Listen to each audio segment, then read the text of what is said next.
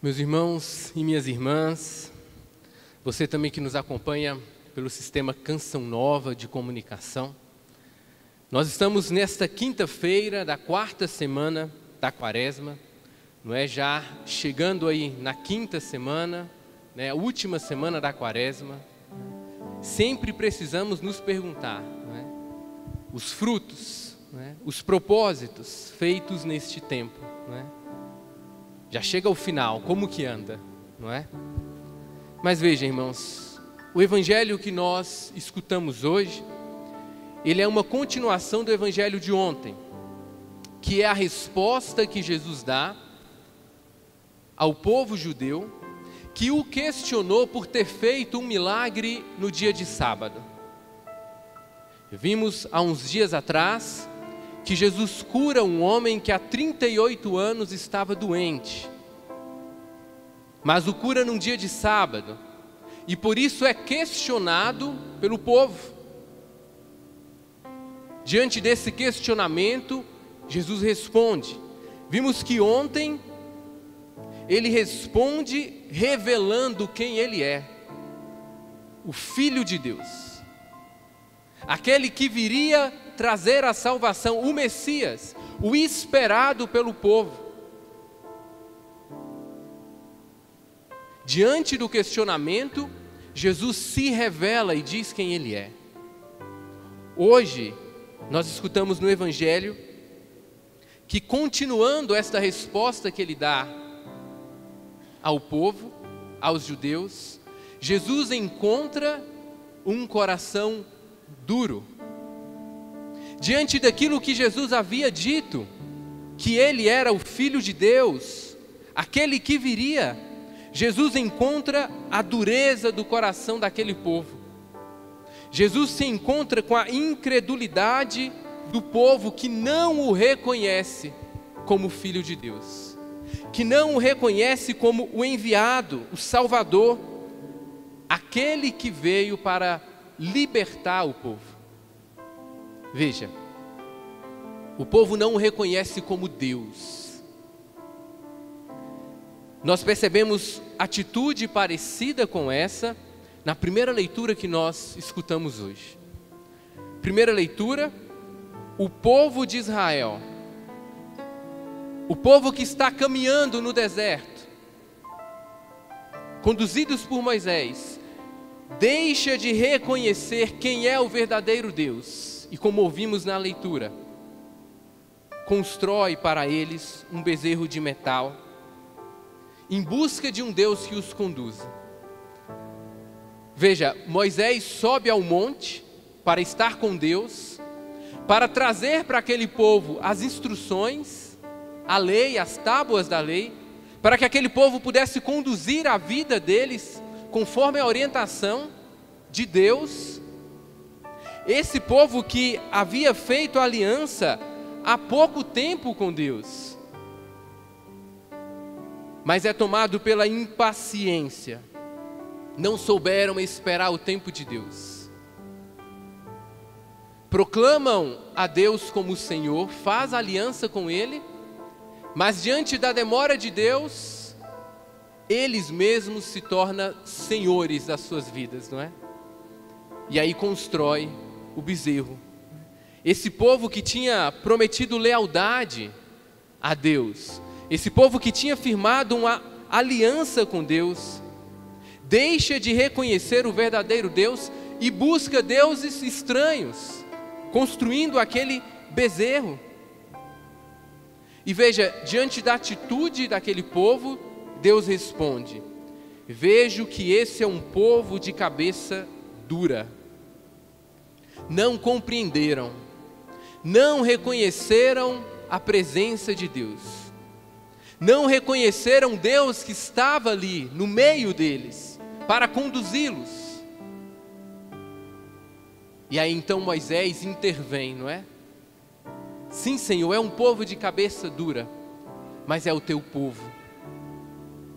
Moisés, o intercessor, que pede que Deus use de misericórdia para com este povo. Moisés que intercedendo, faz com que o coração não é, misericordioso do Pai retome novamente a aliança com aquele povo. Veja, irmãos, aqui a figura de Moisés é uma figura que já anuncia a Cristo, a prefiguração. Moisés intercede por aquele povo para que a salvação aconteça, assim como Cristo. Cristo é aquele que intercede para que também a salvação venha até nós. No Evangelho que nós escutamos, vimos que Jesus também busca fazer, assim como Moisés, com que aquele povo reconheça quem é o verdadeiro Deus.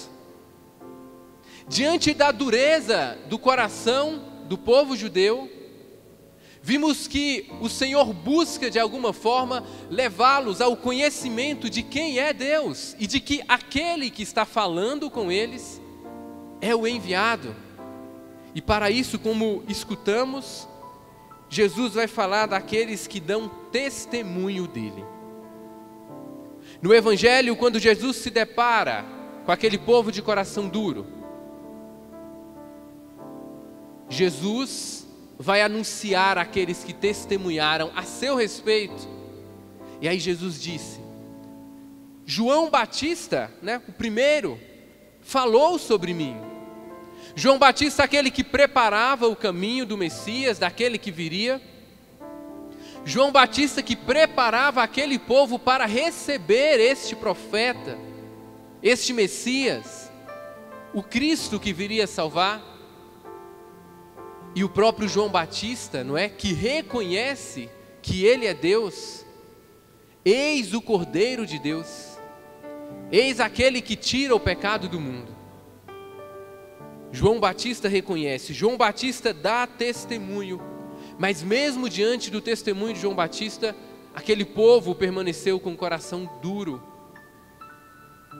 não aceitando Jesus Cristo como o Filho de Deus. Depois o Senhor vai falar: as obras do Pai também dão testemunho de mim. E por que as obras do Pai? Porque as obras que Jesus realizava, ele realizava em nome do Pai. Então Jesus vai mais uma vez trazer um argumento, um testemunho: olha, vocês viram as obras que eu realizei. Curou, libertou, ressuscitou, salvou a muitos. Se vocês não acreditam porque eu estou falando, acredite ao menos por conta das obras que foram realizadas. E Jesus ainda recorre, não é? A um testemunho mais forte. Quando Jesus vai dizer que as Escrituras dão testemunho dele. E veja, as Escrituras que era tão fundamental para o povo de Israel que era este centro da fé, é? o livro, as Escrituras, aquele povo que tanto conhecia as Escrituras, que tanto estudava, não consegue perceber que as Escrituras já falava de Cristo, já falava da sua vinda. Como sabemos, é o Antigo Testamento que é iluminado pelo Novo Testamento, que é iluminado pela vinda de Cristo e ali nós reconhecemos que já se falava de Jesus, que já se falava da sua vinda, e mesmo assim, mesmo com todos esses testemunhos que Jesus mostra para eles, esse povo permanece, cabeça dura, não reconhece Jesus como Filho de Deus, como enviado do Pai. Vamos ver até mesmo que aqui está terminando, não é o capítulo 5 de São João e vamos perceber que a partir daí Jesus começa a ser perseguido, já estava sendo, e continua sendo perseguido, o que mostra que aquele povo não o reconhece, não o vê como o Senhor. Veja, irmãos, quando nós não reconhecemos o senhorio de Jesus, eu caio no pecado da idolatria. Quando não reconheço a Deus, o verdadeiro Deus, eu caio no pecado da idolatria, porque eu busco outros deuses. Foi assim com o povo de Israel, vimos na primeira leitura. Criaram, construíram um bezerro para adorar, porque já não acreditava mais naquele Deus, Deus verdadeiro. Vimos que também se repete no Evangelho, não reconhecem Jesus, não reconhecem que Ele é o Filho de Deus, que Ele é o Senhor. E o próximo passo é a idolatria. É por isso que nós, irmãos, e a liturgia hoje nos mostra e nos pede exatamente isso: reconhecer Jesus Cristo como nosso Senhor, reconhecer o lugar que cabe a Deus nas nossas vidas, lugar de Deus, de Senhor para que nós também não caiamos na idolatria. E veja aqui, posso até dizer que uma idolatria inconsciente, porque colocamos no lugar de Deus tantas realidades e muitas vezes não temos consciência quando percebemos já ocupou o lugar de Deus. E aqui realidades mesmo materiais, não é? Quantas vezes o material, aquilo que é material, ocupa o lugar de Deus na minha vida? Quantas vezes os meus afetos, o relacionamento, acaba conduzindo toda a minha vida e toda a minha vida, ela fica por conta daquele relacionamento, daquela situação, porque criei uma dependência e tudo o que eu faço gira em torno daquilo. Mas veja, o centro é Deus. Quantas vezes o dinheiro ocupa o lugar de Deus? O trabalho, e o trabalho acaba girando, sendo o centro e toda a minha vida girando em torno dele, da busca, da riqueza, o prazer, o sexo, o que temos colocado no lugar de Deus? Quais as idolatrias? Porque veja, irmão, irmãos, idolatria é isso. É quando eu dou o lugar que cabe a Deus a uma outra realidade. E precisamos observar porque muitas vezes essas realidades vão ocupando o lugar de Deus aos poucos. Por isso digo muitas vezes inconsciente, mas inconsciente porque não percebe, quando vejo, já ocupou o lugar de Deus.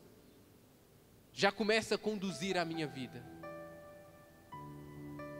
Mas essas idolatrias, irmãos, têm levado muitos de nós a uma realidade, a uma idolatria que não é inconsciente, mas que é plenamente consciente. Quantas vezes temos visto pessoas que claramente proclamam que o seu Deus não é Jesus, e proclamam, divulgam, que adoram outros deuses, outras realidades senão Jesus Cristo senão o nosso Senhor, aquele que nos salvou, aquele que nos ama. Como tem crescido, não é? As pessoas que se declaram adoradores de outras realidades e não têm vergonha de falar, de ir para a mídia, de proclamar, de escarnecer muitas vezes a Jesus Cristo em tantas realidades que nós vemos. uma idolatria escancarada, uma adoração a outras realidades que não a Deus, que não a Jesus Cristo. Por isso, precisamos nos cuidar, irmãos. Porque sem dúvida nenhuma essas pessoas que se declaram seguidoras de outras realidades começaram com essa idolatria aqui, inconsciente, não percebia, foi deixando, foi dando espaço, foi permitindo, até já se afastou totalmente de Deus e começa a buscar conduzir a sua vida orientado, orientada por outras realidades começa a deixar que a sua vida gire em torno não de Jesus Cristo, mas de outras realidades. Começa a pedir, a se relacionar, a conversar não com Deus, mas com outras realidades. E precisamos nós, que cremos em Jesus Cristo, que temos Ele como o Senhor das nossas vidas, não ter medo, não ter vergonha de proclamá-lo como nosso Senhor, de assumi-lo como nosso Deus, de manifestar a nossa adoração, o nosso culto ao nosso Deus. Precisamos retomar e de forma pública. Não tenha medo de assumir que o teu Deus é o Deus da vida, é aquele que te salvou, que te ama, que é Jesus Cristo. Não nos escondamos, irmãos, não tenhamos vergonha, precisamos proclamar o senhorio de Jesus. O grande remédio para fugirmos da idolatria é proclamarmos Jesus Cristo como nosso Senhor o grande remédio para vencermos as realidades das nossas vidas que querem tomar o lugar de Deus, os vícios que querem tomar o lugar de Deus, as situações de pecado que querem tomar o lugar de Deus, a solução é proclamarmos Jesus Cristo como nosso Senhor, assumi-los na nossa vida, proclamar que a nossa família pertence a Deus, proclamar que o nosso matrimônio pertence a Jesus Cristo, proclamá-lo o Senhor do teu trabalho, do teu estudo, da tua vida, do teu namoro. Precisamos cada vez mais, irmãos, assumir Jesus em nós. E quais as realidades que talvez tenha sondado aí a sua vida? Eu te convido a olhar para você um pouco, olhar para a sua vida e perceba aí o que que tem sido o centro da sua vida. Qual realidade tem ocupado o centro? O que tem sido mais importante? o que que as outras realidades da sua vida em que elas têm girado em torno de Jesus Cristo ou de outras realidades. Não sei se o trabalho, não sei se a relação afetiva, não sei se a sexualidade machucada, ferida, não sei se talvez a enfermidade, porque vejam, corremos o risco de, ao invés de proclamar Jesus como Senhor também da minha enfermidade, colocar a minha enfermidade no centro e deixar que toda a minha vida dependa daquilo, não. Precisamos depender do Senhor. Precisamos conduzir a nossa vida em torno dele, meus irmãos, de Jesus Cristo. Te convido a ficar de pé por um instante.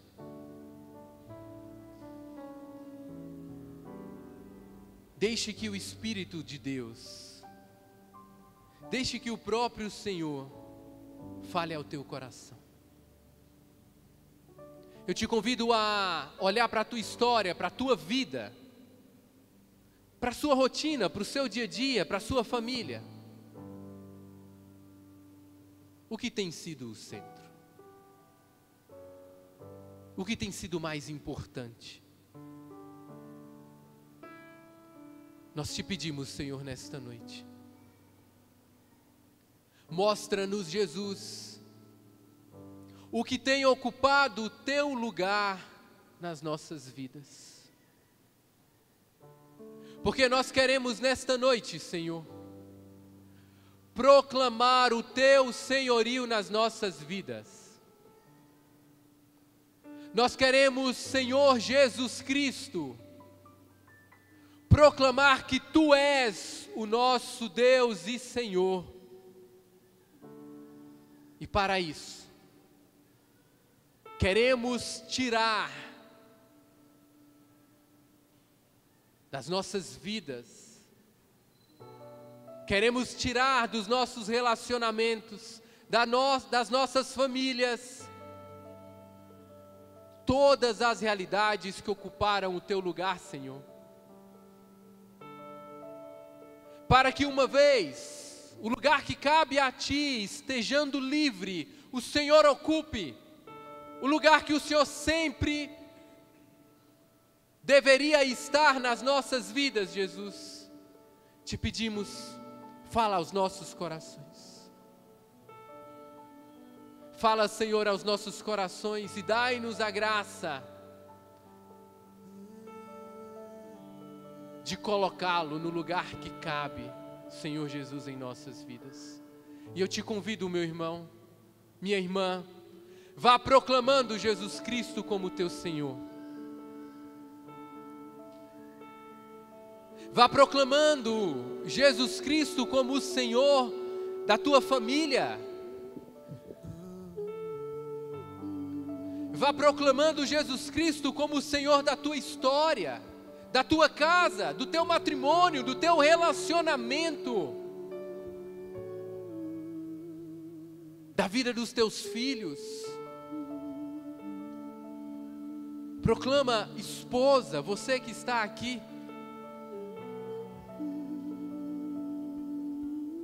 com a autoridade que este sacramento te deu, proclama Jesus Cristo como o Senhor da vida do teu esposo. Deixemos, irmãos, deixemos que o Senhor haja em nós, deixemos que Ele toque as nossas vidas. Você que procurou respostas em outros lugares, se não em Deus, se não na igreja junto com Deus. Você que no desespero procurou respostas em outros lugares, senão em Jesus Cristo. Renuncia agora e proclame. Dê a Deus o lugar que cabe a Ele. Dê a Deus o lugar que cabe a Ele na sua vida. E nós iremos contemplar os milagres, irmãos. E nós iremos contemplar a graça de Deus em nós. E nós iremos contemplar a manifestação de Deus em nossas vidas. Vá proclamando, vá deixando que o Senhor ocupe na tua vida o lugar que a Ele cabe, irmãos.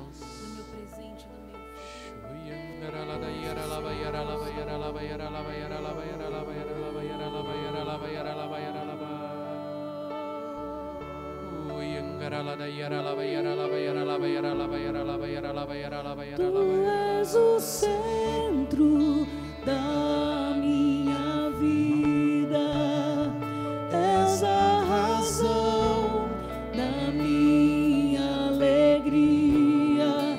Não quero tirar permitindo. olhos de ti. Cante, cante e proclame, deixe. Deixe que Jesus Cristo ocupe agora o centro da tua vida. Tu és o centro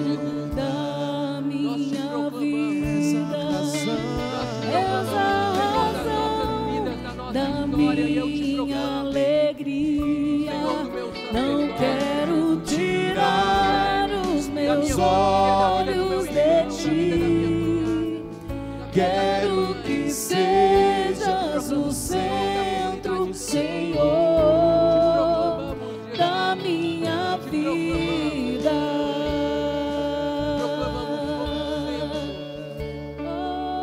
Nós proclamamos, Senhor Jesus, te proclamamos o centro, o centro das nossas vidas. Venha, Senhor, reinar em nós. Venha reinar nas nossas famílias, Jesus. Vá deixando, meu irmão. Vá permitindo Vá contemplando já a graça de Deus acontecendo. Deixe que este movimento de retomada do Senhor, de retomada do Senhor na tua vida, já te faça contemplar a mudança, a restauração, a vida nova. Que aqueles que derem ao Senhor o lugar que a Ele cabe, irão proclamar, irão receber a graça. Permita, deixe ser tocado.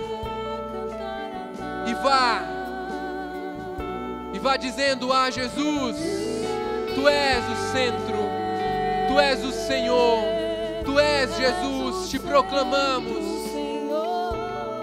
Enquanto em tantos lugares, Senhor Jesus, tantas pessoas têm proclamado tantas outras realidades como o centro da vida, tantas outras realidades para conduzir a vida, nós não, Senhor.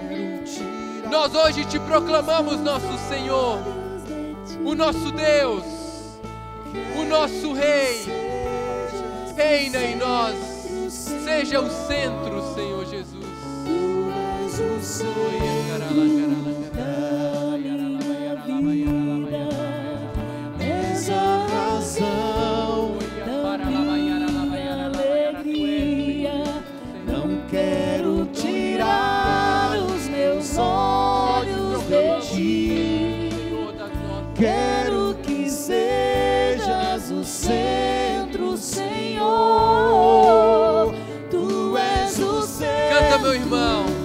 teu braço.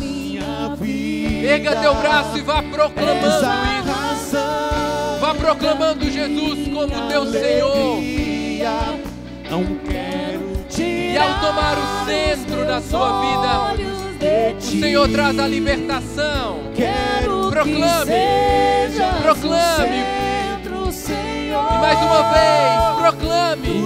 Diga para Ele. Diga que você quer que Ele seja o centro.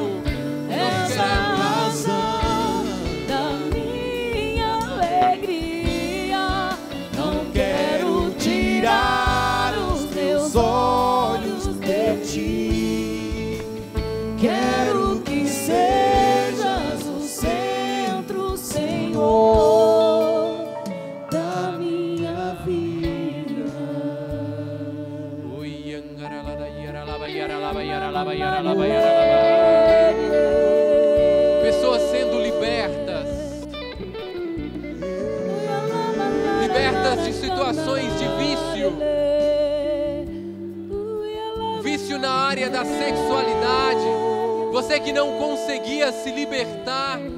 Ao colocar Jesus no centro da sua vida, Ele te dá a graça da libertação, meu irmão e minha irmã.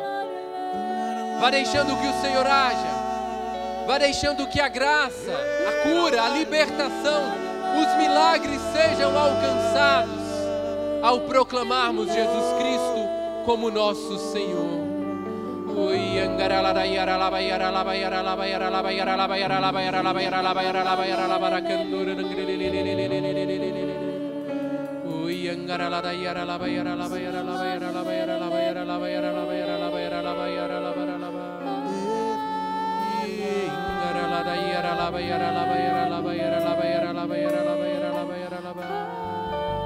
Te proclamamos, Senhor.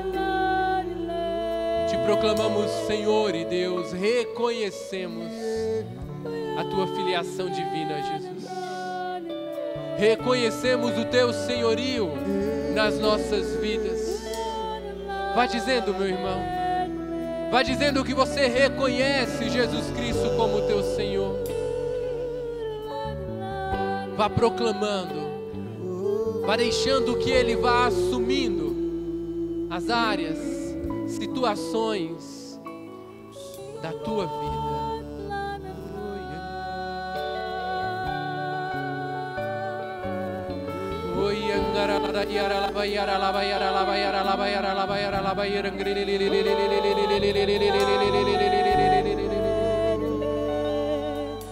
E se é isso que nós queremos, e se nessa noite assumimos Jesus Cristo como nosso Senhor, cantemos mais uma vez: Tu és o centro, Tu és o centro das nossas vidas.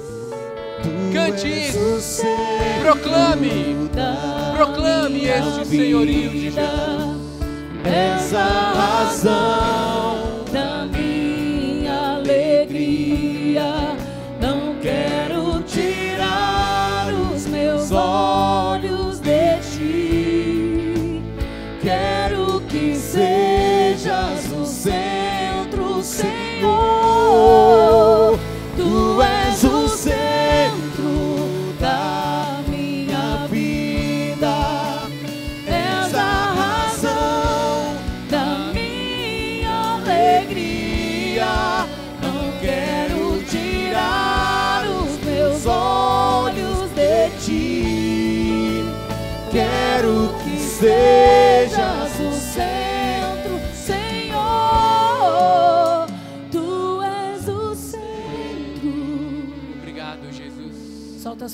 Obrigado e bendito seja, porque sabemos que tu tomastes o lugar que te cabe, Jesus, nas nossas vidas. Não quero Bendito seja. tirar Bendito os seja, olhos de ti.